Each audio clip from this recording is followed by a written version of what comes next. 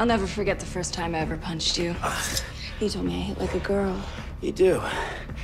You hit like a super fit, well trained, scary, scary girl.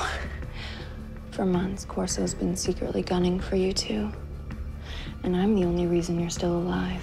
Well, and I'm sure we can both appreciate the irony you stand over me with that knife. Tash. You're on the wrong side of this. Corso just tried to kill Wexler and me down on that planet. He launched an orbital nuke while we were still on the surface. Where's Wexler? He's back on the Marauder. Wexler, it's Tash. Come in. He can't respond right now. Why not? Because he's unconscious, but let me explain. Do we really have to do this? Again?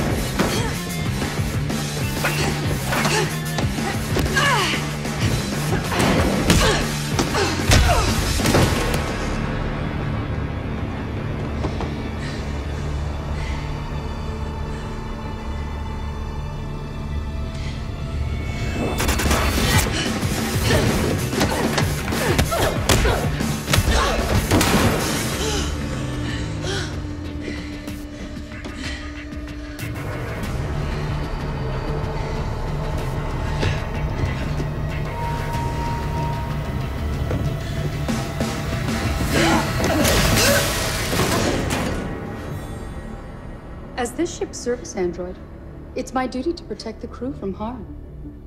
And on occasion, each other. Thank you. You're welcome.